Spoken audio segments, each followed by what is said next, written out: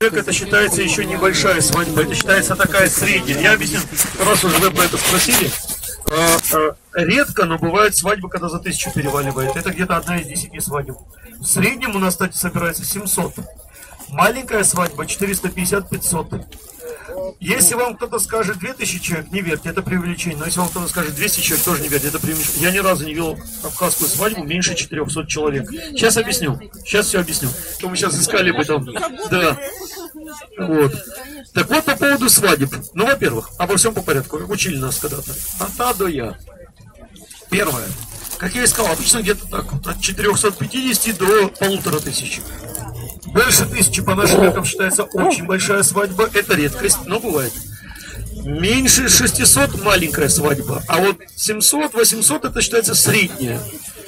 Я объясню, откуда и почему столько получится. Даже если вы захотите сыграть свадьбу на 200 человек, у вас не получится сыграть на 200. Вот физически не получится. Объясню почему.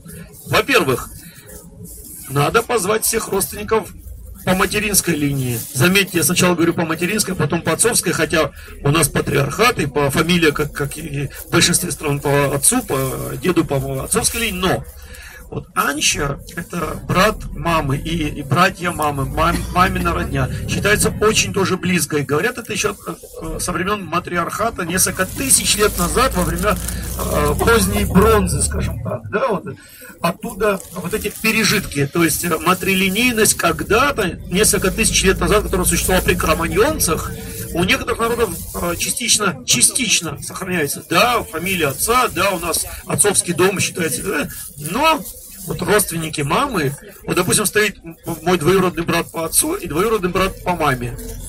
Как ни крути, на один процент двоюродный брат по маме чуть выше, да. чуть уважаемее, чуть ближе, чуть должен быть вот, да, уважаемые места, да, такие вот хорошие.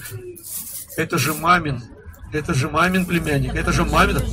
Как бы вот, ну, это, это сложно объяснить в двух словах. У разных этнографов разное объяснение этому есть.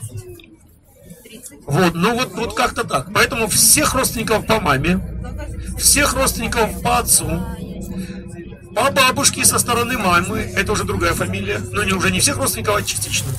По бабушке со стороны отца тоже часть родственников. Это уже как минимум 200-300 человек. Четыре в семьях бывает и один ребенок, и два, и три, и пять. Неважно. Но родственников надо знать и по маме, и по папе, и по бабушке, и с той стороны бабушки, и с этой стороны бабушки. Ну, сейчас не обязательно знать совсем всех родственников до самого колена. Хотя бы основных надо уже знать. Десятки людей. А теперь посчитать это все, это уже получается 200-300 человек. Только родственников. Дальше. Соседей надо позвать на свадьбу. Знаете, кто у нас считается соседом? Когда я называю человека соседом, это не значит, что он живет через стенку или через забор. Моя улица – это мои соседи. Живу ли я в городе многоквартирные дома? Я в городе живу, 500 Там в многоквартирные дома. Вся моя улица – это все соседи. Живу ли я в селе? Треть села – это мои соседи. Я не говорю все.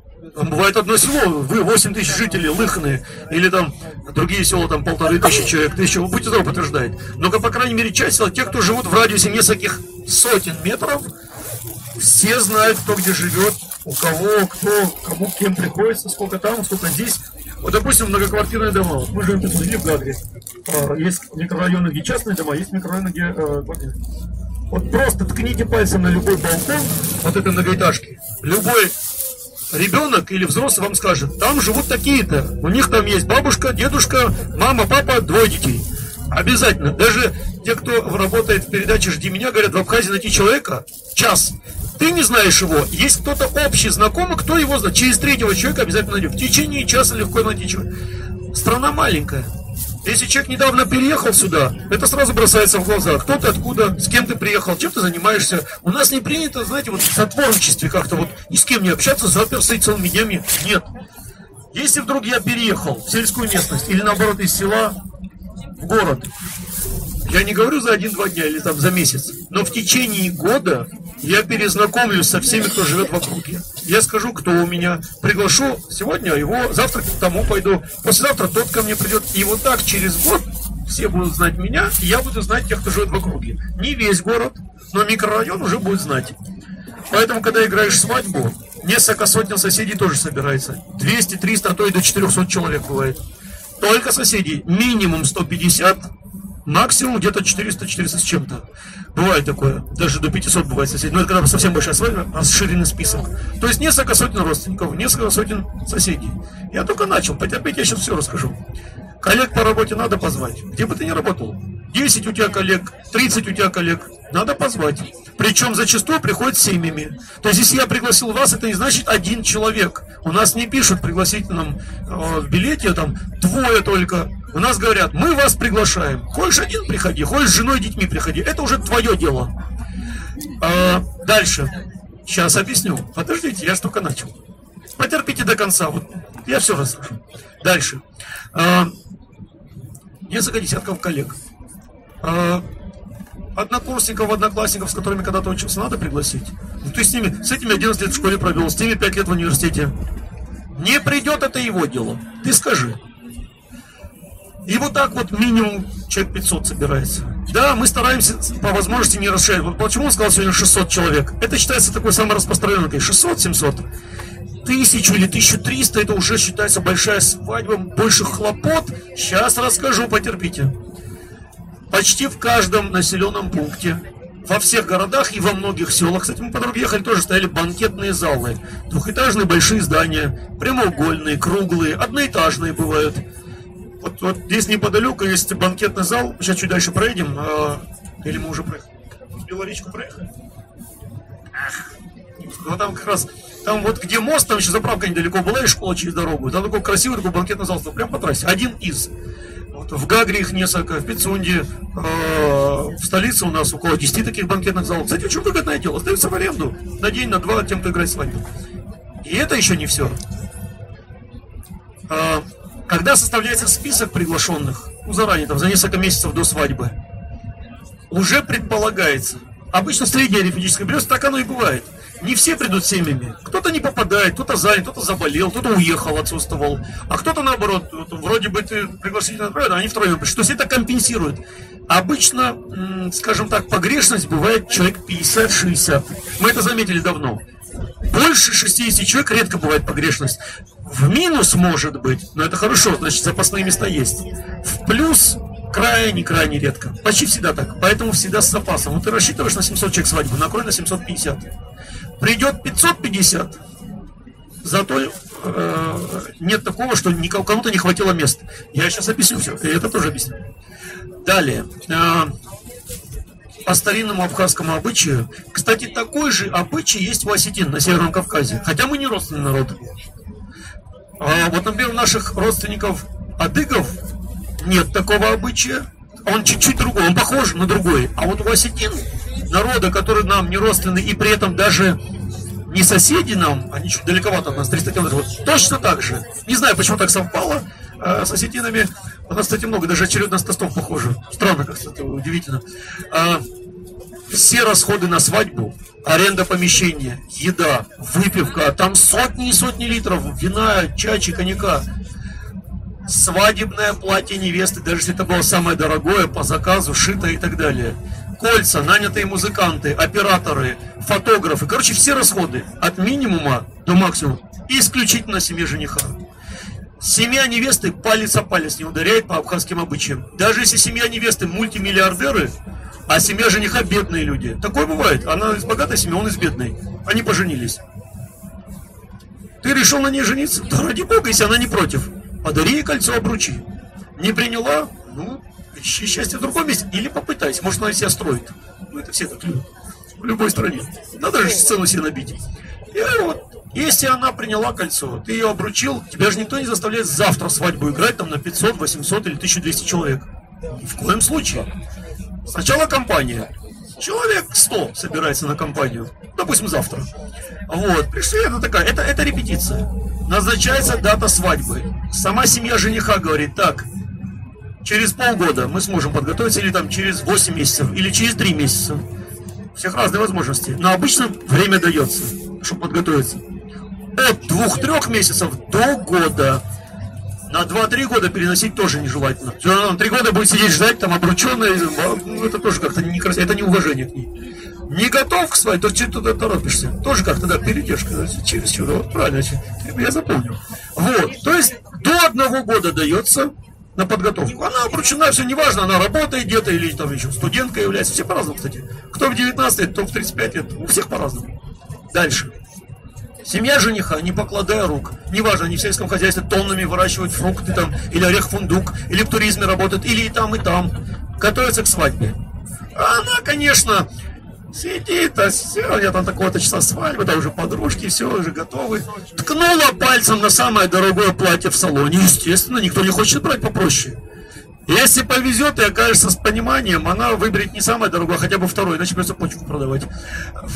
Я, конечно, слегка, ну, ну, бывает такое, что вот, вот уперлась, вот это хочу. Поверьте, что в Папуа-Новой Гвинеи, что в Бразилии, что в Японии, абсолютно, вы, вы, а, вы, дамы, ничего не забываете. 30 лет пройдет, какая-то обида бытовая, внукам расскажет, а ваш дед мне не купил то платье, которое я хотел. И потом, стоя перед внуками, красней, как ты мог для нашей лучшей бабушки на свете не купить то платье, которое я хотел. Дед, мы тебя так и уважали, любили. Ребята, не привлечу. Любой девушке, конечно, спросите, что я недостойна, что ли, чтобы он мне купил такое платье. Но бывает, попадают такие, говорят, ну это напряжно, я же вижу, не надо это. Ну то, тоже вполне симпатичное, вполне нормально, мне хватит. Радуйся, что так повезло. Это к вопросу об ущемлениях. Мы не в Саудовской Аравии живем. Семья невесты имеет право, но это не обязаловка. Совсем не обязательно. Какое-нибудь приданное организовать. Будет приданное, спасибо, Никто не откажется. Не будет. Они дочь воспитали, образование ей давали. Всю жизнь холили, лелеяли. А ты, видите ли, забираешь ее в свою Кстати, тоже важный обычай. И именно в семью жениха.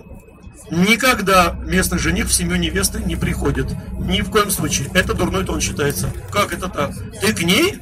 Так ты там потом будешь как-то вот свое мнение иметь тоже будет совсем прям. Нет, даже если она единственная дочь в семье, у нее нет ни братьев, казалось бы, и вот ее родители, больше никого нет, она единственная дочь, такое тоже иногда бывает. Она в твою семью приходит, у тебя прибавление. А что может быть дороже человека? Ничего. Поэтому они, воспитав дочь, давая ей образование, работу и так далее, все, вот их главный капитал, вот их главное приданное. Смогли что-то ей подарить на день свадьбы? Это да. Не смогли? Ничего страшного. У тебя прибавка в семье, у них убыль. Никакого Колыма в Абхазии нет. Причем сына иметь невыгодно. А, а иногда бывает и двое-трое сыновей. И каждому надо играть свадьбу. Но обычно, когда несколько сыновей в семье, маленькие свадьбы играют, по 500 человек. Если один сын в семье, то обычно большую свадьбу играют, потому что он один. И так, чтобы на всю жизнь там, до тысячи даже бывает с хвостом. Это еще не все, подождите. Если не смог подготовиться к свадьбе к сроку, остается пару недель, а ты видишь, что ну, сезон был неудачный или неурожайный, там вот, ты рассчитывал на столько-то тонн фундука или мандарин или еще чего-то, ну что-то пошло не так. Или какие-то непредвиденные расходы, или еще что-то. Такое бывает. Что делается в таком случае? Что переносить свадьбу нежелательно. Единственная причина переноса свадьбы может быть смерть близкого родственника, прям члена семьи. Да, тогда до 40 дней, траур и все такое, бывает даже до года. Только если член семьи, ближайший родственник. А так переносить свадьбу нежелательно. Так что же делать? Вот остается пару недель, на банкетный зал смогли, на там еду, выпивку смогли, а на платье, на кольцо, на музыкантов, на фотографов не смогли накопить. Ну, обзвони ты своих сотен родственников, соседей и так далее. Да, 70% это обычно средний класс. А, там, допустим, 20% ниже среднего, но 10% выше среднего. Есть люди с достатком, поверьте, найдется 2-3 человека обязательно. Их даже несколько раз просить не придется. Которые беспроцентно вам одолжат такую-то сумму. Вот двое-трое скинут, скажут, сколько тебе не хватает. Мы видели, ты готовился эти полгода, не покладая рук, ты не сидел на диване, не плевал в потолок, ты старался. Как же мы тебя не поддержим? Все нормально. Сколько не хватает на то, на то, что все, свадьбу сыграйте, потом вернете. Все, ты уже сыграл свадьбу, два дня все гуляют. Кстати, если ты не попал первый день свадьбы, допустим, тебя одновременно могут такое очень часто бывает, даже на три свадьбы в один день приглашают. И причем эти три свадьбы не в одном населенном пункте. Одна в Гагре, другая в Афоне свадьба, а третья в каком-нибудь селе. Ачимчирского района или Сухумского района. Ну не разорваться же, что мы в таких случаях делаем? Первый день я поехал на одну свадьбу. В тот же первый день, спустя час, на другую свадьбу, отметился там. А на второй день я могу поехать на ту третью. А бывает, что только одна свадьба и больше не... Дальше, я. Подождите, я знаю, о чем вы хотите спросить, потерпите, я, я расскажу. Потом вопросов не останется. Дальше идем. Два дня гуляли, на второй день человек так 150-200 собирается. Это те, кто на первый не успели. Это к тому, о том, что свободные места были, эта еда не пропадает и выпивка. На второй день еще человек 100, 150, 200, они догуливают. Кстати, с, первой, с первого дня тоже человек 30 остается 40. А вот на третий день остаются самые близкие и самые устойчивые. Их обычно от 20 до 50 человек, мы их называем бессмертные. Это которые три дня гуляют и выжили. Вот. Потом уже все расходятся дальше. Допустим, вот семья в долгах. Она не успела подготовиться, и такое часто бывает. Казалось бы, у них такой хороший долг после свадьбы. Наверное, годами расплачиваться по чуть-чуть. Нет? На следующий день. Потому что все приглашенные дарят деньги. У нас подарки не дарят. Нецелесообразно. А вдруг не угадаешь с подарком? А вдруг ты им подаришь то, что у них уже есть? Или то, что им вообще не нужно? хотя у них этого и нет. Что вот это вот не гадать, не сидеть, не ломать голову деньгами. Три. Ребят, ну я ж только начал. Ну потерпите. Ставки нет. Подарите тысячу рублей, гуляйте два дня. Подарите 10 тысяч, можете уйти через час. Дело ваше. Сколько смогли, столько подарили. В среднем 3, 5, 7. В среднем. Ни в коем случае. Подождите, ну чем больше вы меня спрашиваете, тем больше вы отвлекаете, тем больше у нас я эту тему уже 20 лет рассказываю. Так вот, у меня даже этнографическое был э, небольшой этот, э, так вот на эту тему. А, ни одного конверта я никогда ни на одной абхазской свадьбе, э, свадьбе не видел. У других э, народов бывает такое, в том числе и на Кавказе. Бывает, и то не у всех. У нас ни, ни в коем случае. Объясню почему. Стесняться нечего и некого. У тебя кризис в семье, все это знают. Ну, подарил ты минимум, сколько смог. У тебя среднее положение, ты столько-то подарил. У тебя процветает какое-то дело, бизнес, я побольше подарил. Главное, ты пришел. А теперь по поводу того, сколько приходит или может не прийти. Важный фактор – это как ты себя годами вел до этого. Если ты всех игнорил, не ходил на половину свадьбы, на которую тебя приглашали, тебя никто не упрекнет, не поругает. Ну не ходишь и не ходишь, вроде бы экономишь, но когда к тебе придет это дело, к тебе тоже не придут все те, кого ты э, игнорировал. И ты будешь рассчитывать человек на 700, а 100 человек, а у тебя накрыто. Как ты к людям, так и к тебе. Ты не ходил, к тебе не придут, и ты в долгах. Ты ходил везде, вроде бы тратился всю жизнь. Это потом вернется с лихвой. Тебе или твоему сыну. У меня был случай такой, когда э, как-то вот э, отец моего друга говорит, на свадьбу. Вот ты список составил, ну, друг собирался жениться, кстати, меня другом жениха взял. Да, говорит, у меня там получается там 700 с хвостом. Такая средняя свадьба, небольшая, но и не маленькая. А он говорит, я тебе сейчас человек 100 еще добавлю, отец его. Мы такие с другом переглянулись, слушайте, уже далеко не дети, уже за 30. И этот э, говорит отцу, слушай, неужели я такую тебе дурак, идиот, и воспитал такого оболтуса, который, ну я могу, говорит, по зоопарке как-то вот двоих-троих пропустить, там, пару семей. Но сто человек, как я могу пропустить, говорит, наших родственников, э, соседей, я что, совсем, говорит, никчемный, чтобы так, даже обиделся на отца. Вот что значит мудрость старшего человека. Он говорит, да, ты действительно балбес, говорит. И еще задолго до твоего рождения, еще до того, как я сам был женат, будучи еще молодым, я настолько свадеб ходил не к родственникам, а к знакомым, друзьям, коллегам, о которых ты не знаешь, ты тогда еще не родился. И они говорили, пройдут годы, возможно, у тебя будет сын, пожалуйста, не забудь про нас. Ты ходил к нам на свадьбу 30 лет назад, там, 40 лет назад, 20 лет назад – Пригла... Нас не будет, будут наши дети, мы им скажем, что вот к Форду Чичба на свадьбу обязательно ты должен пойти, иначе это как это позор, он у нас на свадьбу гулял, у нас внимание какое-то нам уделил, а ты не пойдешь. И вот его отец дописал почти 90 человек, семей, которые им родственникам не приходились, но он ходил на их свадьбы когда-то в молодости. И почти все они пришли, там, по-моему, двое-трое только не попали. То есть вот как-то так, как ты к людям, так и они к тебе. У нас не забывают и хорошее, у нас не забывают и игнор. Раз ты ко мне так, то я к тебе так. Мы адекватны в этом смысле. Как ты ко мне, так я к тебе. Вот и все. Поэтому свадьба окупается. Более того, сколько бы у вас не было расходов, даже когда прям много, иногда бывает так, э, вроде бы скромная семья, не богато живет, а свадьбу сыграли такую большую, пышную, красивую. Со стороны люди смотрят, там, ну, допустим, отдыхающие. Как они умудрились, они же не богаты. Во-первых, они готовились год. Во-вторых, они в долг взяли немаленькую сумму. Плюс все приглашенные подарили столько-то, столько-то. И получилась такая цифра с шестью нулями. Причем впереди не единица стоит. И вот, а? Кредиты у нас редко берут. Это проценты высокие. Это мы не любим это проценты, все такое. Мы обычно так в долг у кого-то и эту же сумму возвращаем. Так удобнее, так и как-то кредит крайне редко это бизнес этим занимается, а вот на свадьбу нет. Так вот, и вот это вот, казалось бы, небогатая семья сыграла пышную свадьбу, два дня гуляли, и при этом не в долгах. Часто свадьба под ноль садится. Прям в ноль. А часто еще и сверху что-то остается. Любая сумма, которая осталась сверху, любая, большая или маленькая, это начальный капитал новой семьи. Вот отец жениха, все, свадьба от, э, отгуляла, прошло пару дней, говорит молодоженам, невестке своей, сыну, говорит, все, все долги раздали, со всеми рассчитались, с фотографами, музыкантами, за платье, за то, за, за, за зал. Смотрите, у нас еще осталось там 300 тысяч рублей, или полмиллиона, или 10 тысяч, или мы в ноль сели. Остались деньги. Он оставляет им, говорит, вот, все, что осталось после вашей свадьбы. Зато потом внука можете рассказать, как у вас на свадьбе там тысяча человек, или там 700 человек, или 500 человек гуляли несколько дней, и мы при этом не были в долгах.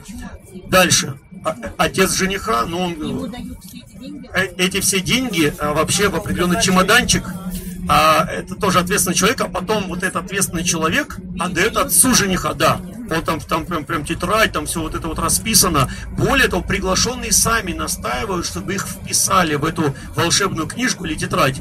Не не тот, кто играет свадьбу, заинтересован написать, а сам пришедший, чтобы тоже не забылось, чтобы это осталось в истории, свадьба такая-то, числа такого-то, вот от семьи такой-то столько мы смогли. Запишите нас, пожалуйста. Вот э, НРСС не смог прийти на вашу свадьбу, он заболел, но он передал такую-то сумму. Запишите его семью. А как он сам? Да, он температурит или он в отъезде, но он передал. Мы так часто бывает, так обзваниваем друг друга. Ты идешь на такую-то свадьбу? Нет. Другого позвонил. Ты идешь на такую-то? Нет. Что такое? А тебя пригласили? Да. О, слушай, я не попадаю туда. Ну, не вариант. Ну, я разорваться не могу от меня передай, а потом я их увижу, и я их поздравлю. Но вот в этот день свадьбы передай и впиши мне там, что я тоже какое-то внимание хоть какое-то уделил.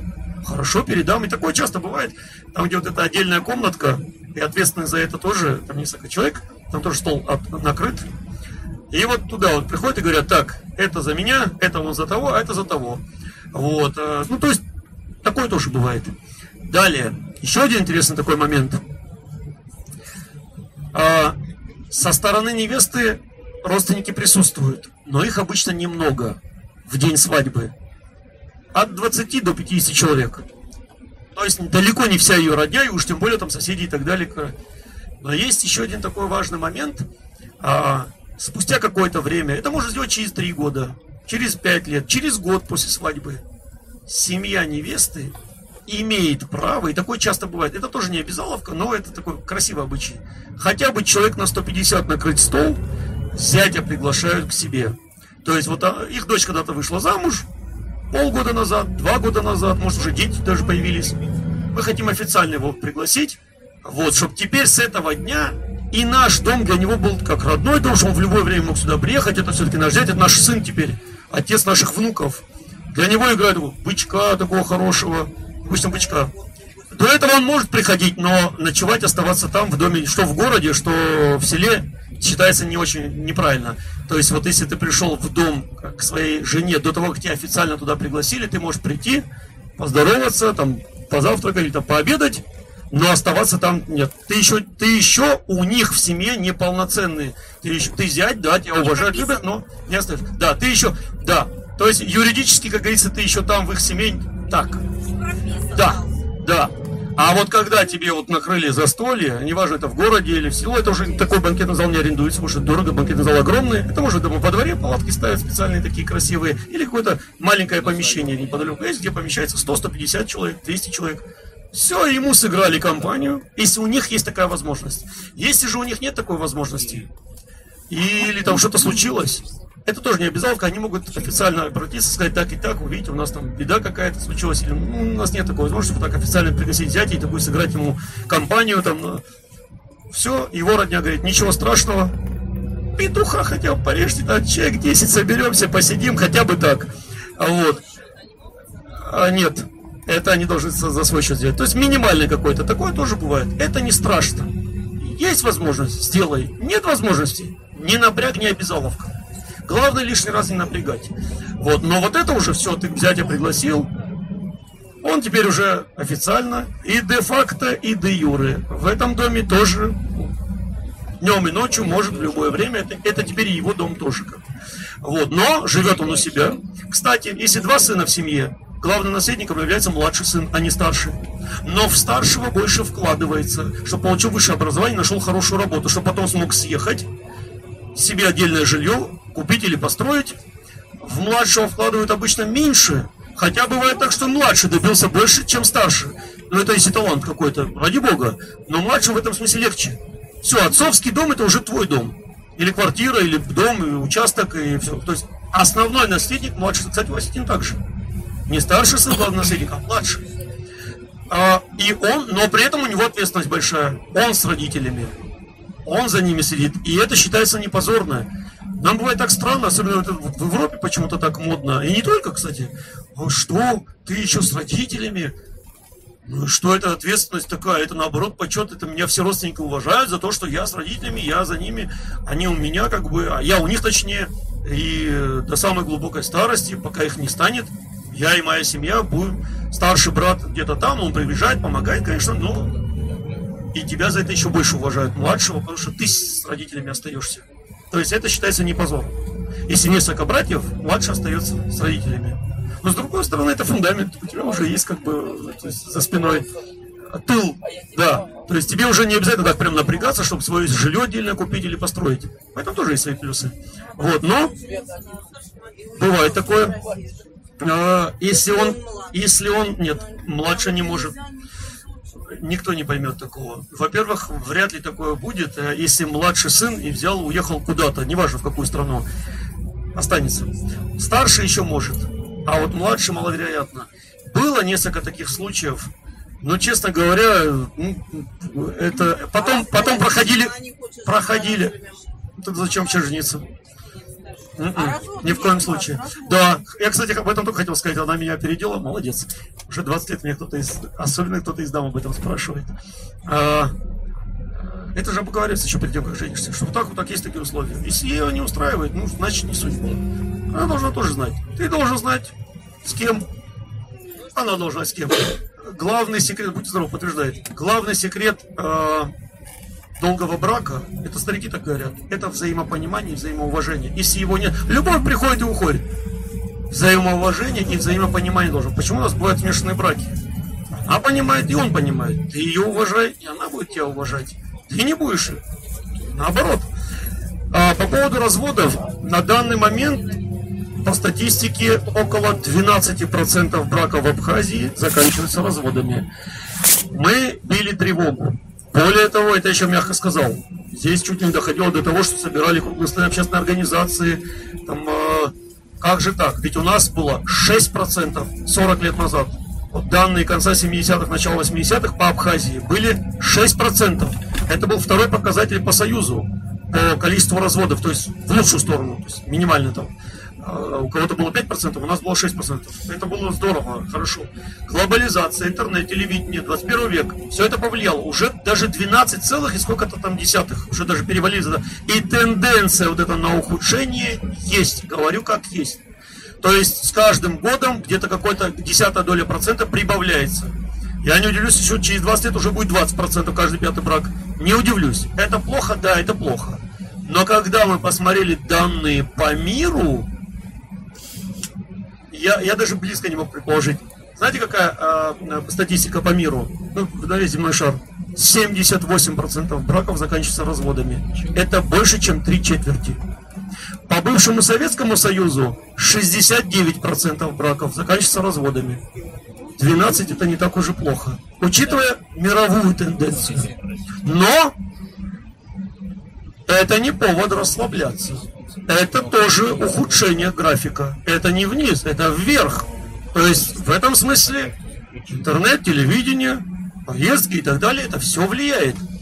А с детства что ребятам, что девушкам говорят так? Я помню по нашему детству, сейчас я часто вижу э, вот, э, молодому поколению, там еще детям, надумал жениться когда-нибудь, когда вырастешь, или надумаешь выйти замуж, не торопись, приглядись, посмотри. Это, знаете, вот сгоряча всякое может, а потом раз, и ой, а вы знаете, через год. Ну, а потом опять нет такой свадьбы. Нет, извини, дорогой. Один раз. А-а. Если вдруг так получилось, что второй раз женишься, ну, допустим, первый брак, ну, не состоялся, или, не дай бог, несчастный случай произошел какой-то, кто-то бывает, кто-то из... Всякое бывает жизни.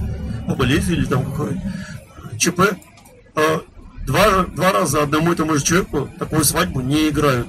Это уже как-то, это уже, во-первых, во-первых, свадьбу эту помогают тебе э, все твои соседи. Вы не нанимаете поваров, вы не нанимаете официантов. Все, весь обслуживающий персонал на вот это вот огромное мероприятие, это все твои соседи, даже не родственники, а именно соседи. Всегда найдется специалисты по мясу, по курице, по печеным изделиям, мужчины, женщины, там, огромными котлами готовят столько еды, еще с ночи начинают. А есть, допустим, группа людей, кондитеры. Вот у тебя всегда среди соседей найдется 2-3 человека, такие, то ты им продукты покупаешь, а они тебе уже там 20 тортов, да, вот напекли. То есть вот как-то так. Ты назначаешь старшему, ты отвечаешь за коньяк, вино, чтобы они были разлиты по графинам или по кувшинам. Все, возьми бригаду с собой 10 человек молодых, они будут тебе помогать, ты будешь старший.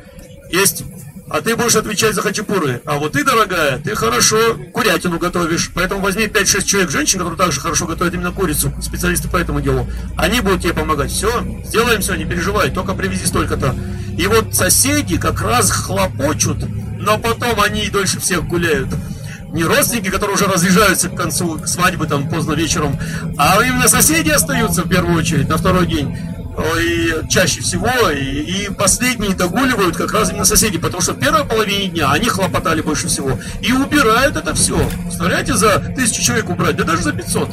Соседи. За это ни рубля не берут, но они тебе помогали, и ты им также должен помогать. Если ты всегда рядом стоял с соседями, иногда бывает от работы вынужден отказаться, но у нас в основном свадьбы не летом. Это не урочное время. Летом свадьб 5%.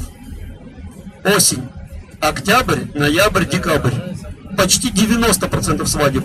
Несколько процентов весной, несколько процентов летом. А вот осень самое то.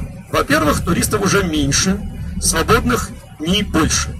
Во-вторых, не так жарко, как летом, но и не прохладно, как, допустим, сейчас в феврале. Идеальная погода, красивая природа, такие кадры получаются в эти э, свадебные кортежи. А свадебный кортеж на 5-6 машин. Это ближайшие друзья жениха и невесты. Ну, может, кто-то из родственников тоже там несколько человек.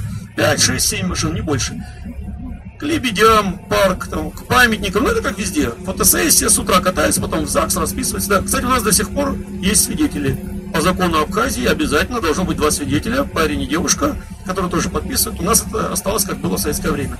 Все где-то к 15.00, заметьте, довольно рано, не вечером, подъезжают к банкетному залу, где уже собралось 600, 700, 1200 человек, неважно. И как только жених и невеста приехали, объявляется посадка. До этого все собирались, потихоньку общались. Вот, и все. О, молодожены приехали. Все садятся. Э, кто где хочет. Вот, допустим, там, я попал на какую-то свадьбу, и я из там 500 приглашенных знаю человек 100. Думаете, я всех знаю. Это они ему, родственники, друзья, соседи. А они же не мне так, таковыми являются. Я знаю только некоторых из них. Одни говорят, о, Фур, давай с нами сядешь приглядеться. О, вот с этой компанией лучше сидеть. Эти тоже неплохие вроде бы. Но лучше вот с теми. И ты уже сам решаешь с кем. Все, садишься за стол. За каждым столом свой тамада. То есть где-то на 100 человек, на 50 человек. Не на всю свадьбу один тамада. Это, кстати, Гагра. Мы там через город ехали. А вечером едем уже по объездной, так ближе и быстрее. Он, Гагра внизу. Новые отели, вы видите, там ступенчатая, это Европа, в прошлом году построили. Рядом высотка стоит, это санаторий э, гостиница Абхазия, очень даже неплохая. Ну, там на берегу моря. Там сейчас дальше будем проезжать, там еще увидите новые отели красивые. Вот. Э, и с каждым годом их потихоньку, потихоньку, ну, добавляется. Так вот, все, гуляешь, заказывал свой там, а да, обычно даже хозяин торжества, отец жениха, бывает, так пройдется по залу. Иногда. Говорит, вот я хочу, чтобы за этим столом ты был тамадой. Конечно, многие отказываются, говорят, ой, это ответственно, это надо столько тостов, это надо столько выпить, это надо всех, это и так далее. То есть, ну, давай кого-нибудь другого. Нет, нет, я хочу, чтобы ты был, ну ладно, так и быть. Ну, колесо обозрения. А вот, э, а бывает так, что если, ну, хозяин торжества не успел всех обойти, ну, здесь столько народу, ну, невозможно всем, особенно когда свадьба большая, под тысячу или за тысячу человек. Сами, собравшись именно за этим столом, там, 50-60 человек говорят, так, давайте его там объявим за нашим столом. И за него все поднимают. Все, уже не отмажешься. Тамада это не обязательно, кто больше всех выпьет. Совсем не обязательно. Но и абы кого тоже не назначают. То есть такого более или менее опытного застольщика. Никаких конкурсов, Абсолютно. Тамада это у нас не шут и балагур. Это серьезная должность. Он поднимает за что-то, все должны поднять за это. Вне очереди поднимать тоже нельзя. Если хочешь это сделать, должен попросить у него разрешения. За это ты должен штрафной выпить. Как это? Вперед тамады ты хочешь за что-то поднять.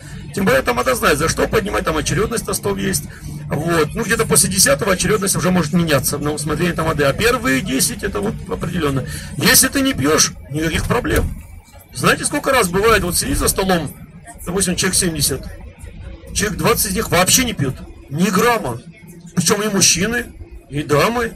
От кого меньше всего ожидаешь, наоборот, могут так прям газануть. А от кого ожидаешь? Что, нет, я не пью, мне нельзя, там, я там, врач сказал, в ближайший месяц нельзя, там, у меня какие-то курс лечения. Или я за рулем, или я еще что-то. По какой-то причине. Все, не вопрос, ну, не пьешь, не пьешь. Если ты смог, вот пошло дело за несколько часов застолья, несколько часов, перепить тамаду, это заметят. Хозяин торжества, отец жениха может какой-то подарок тебе сделать. Ну надо же, не ожидал. Тот ведь опытный застольщик был. 30 стаканник, как мы их называем, а то и 40 стаканник. Ну, я понимаю, о чем идет речь, да? 40 стаканов вина или 40 ремок чачи выпить за 3-4 часа застолья, это не так-то просто. Не вставая из застолья, только закусывая. С перерывами, долгими паузами, километровыми э, тостами и так далее. Но если ты... Ты можешь остановиться и на втором, и на третьем. Это твоя норма. У всех разный организм. Кто-то 5 рюмок выпьет или стаканов а кто-то 15, а кто-то и 25. Хочешь завершить застолье? Амада, это мой предел. Ну, все, я, я же чувствую, что вот. Главное вовремя остановиться. Если ты перепил тамаду и в ноль, позор. Ну как это так? Ты не, не можешь ни встать, ни пройтись, не помнишь, где ты и кто ты вообще. Не, так лучше не побеждать. Если пошло, и ты чувствуешь, что не пьянеешь, такое тоже бывает, прям хорошо пошло.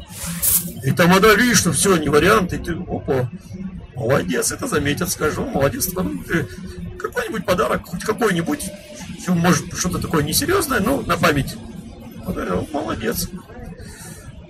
Э, к сожалению, иногда, но это тоже считается дурной том, да, я знаю, считается плохая свадьба, если свадьба без драки, да.